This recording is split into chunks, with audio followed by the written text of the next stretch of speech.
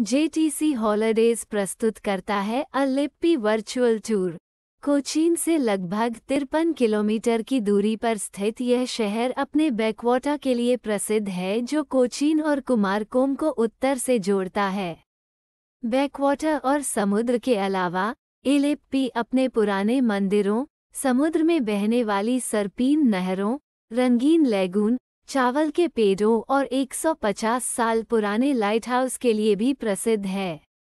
अलेप्पी में घूमने के लिए सबसे अच्छी जगहों में से एक कुटनाड बैकवाटर्स है।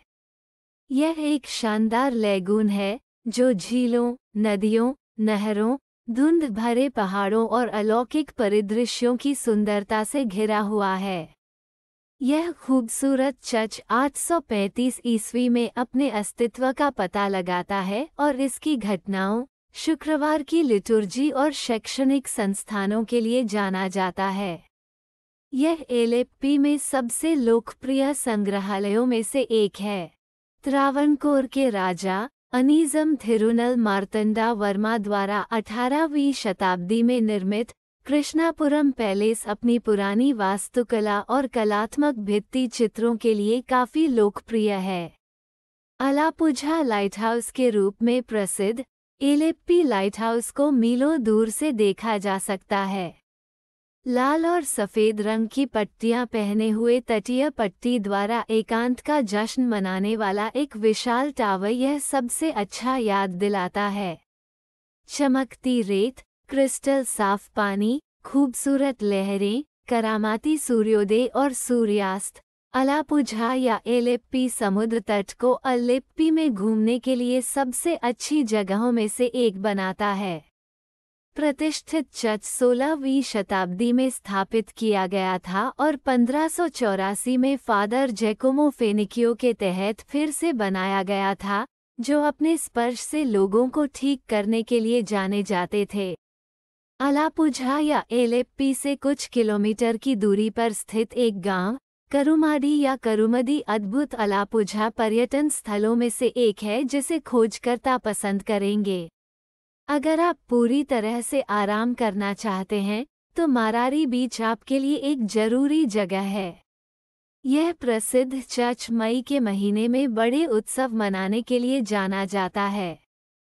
चर्च अपने ईसाई और गैर ईसाई तीर्थयात्रियों के लिए भी लोकप्रिय है।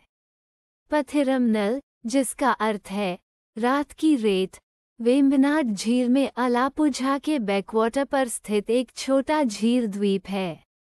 यह सबसे खूबसूरत अलापुझा पर्यटन स्थलों में से एक है जिसे आप बिल्कुल याद नहीं कर सकते।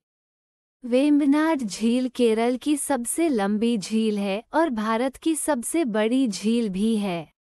अम्बालापुझा मंदिर एलेप्पी में घूमने के लिए सबसे पुरस्कृत स्थानों में से एक है। मंदिर केरल का सबसे पुराना कृष्ण मंदिर है और भारत में भी सबसे पुराना है। जवाहरलाल नेहरू की स्मृति में आयोजित यह नाव दौड़ किसी अन्य नाव रेसिंग गतिविधि के विपरीत है जिसे आपने पहले देखा होगा। यह एलेप्पी में घूमने के लिए अनोखी जगहों में से एक है। मन्नार स्लाश श्री नागराज मंदिर, जैसा कि नाम से पता चलता है, सांपों को समर्पित एक मंदिर है। एलेप्पी के सबसे खूबसूरत हिस्से में स्थित एक शताब्दी पुराना मंदिर यह आपके लिए मुलक्कल भगवती मंदिर है। सेंट कुरियाकोस एलियास चावरा का पैतृक घर, यह भवन भी एक तीर्थयात्री है। अब तक के सर्वश्रेष्ठ अलिप्पी पर्यटन स्थलों में से एक, चावरा भवन मानवता की सेवा करने का इरादा रखता है। एक स्वच्छ समुद्र तट जो मुक्त आत्माओं को आकर्षित करता है, अंधकारनाझी बीच उन कुछ अलापूझा पर्यटन स्थलों में से एक है जो हमेशा के लिए खूबसूरत हैं। पुनमाडा अल्लेप्पी के पास स्थित एक भव्य झील है जहाँ आप प्राकृतिक सुंदरता के बीच अपनी रोज़मर्रा की सभी समस्याओं को पूरी तरह से भूल सकते हैं। अल्लेप्पी में घूमने के लिए पुन्नप्रा सबसे एकांत स्थानों में से एक है, और यदि आप भगवान के अपने देश में एक शांत छुट्टी की योजना बना रहे हैं तो इस आकर्षक छोटे से गाँव का समुद्र तट एक आदर्श स्थान है। रेवी करुणाकरण संग्रहालय उन जगहों में से एक है जो आपको ऐसा महसूस कराता है जैसे आपको किसी दूसरी दुनिया में ले जाया गया हो। थोट्टाप्ली बीच अपने अनोखे समुद्र तटों के कारण एलेप्पी में घूमने के लिए सबसे दिलचस्प जगहों में से एक है। इसमें जिरकोनिया की उच्च सामग्री के कारण यहाँ की रेत का रंग काला है। सबसे प्रसिद्ध अलापुझा पर्यटन स्थलों में से एक, चेटीकुलग्रा देवी मंदिर में भक्ति, आध्यात्मिकता और भक्ति की यात्रा शुरू करें। फ्लोटिंग मार्केट पहली बार आने वाले आगंतुकों के लिए एक अनूठा खरीदारी अनुभव है। यह एक राज्य के स्वामित्व वाला और सफ़ेद चेकर बाज़ार है। अल्पुझा ज़िले में सेंट मैरी फोरेन चर्च, जो पबा नदी के तट पर है में एक सुंदर डिज़ाइन, अलंकृत पत्थर की नक्काशी और पुराने अवशेष हैं, जो सभी पुर्तगाली सभ्यता के प्रभाव का संकेत देते हैं। एलेप्पी में शिकारा नावें हाउसबोट की तुलना में छोटी और सनकरी होती हैं, जिनमें पंद्रह व्यक्तियों के बैठने की जगह होती है। JTC holidays private limited, Rajkot.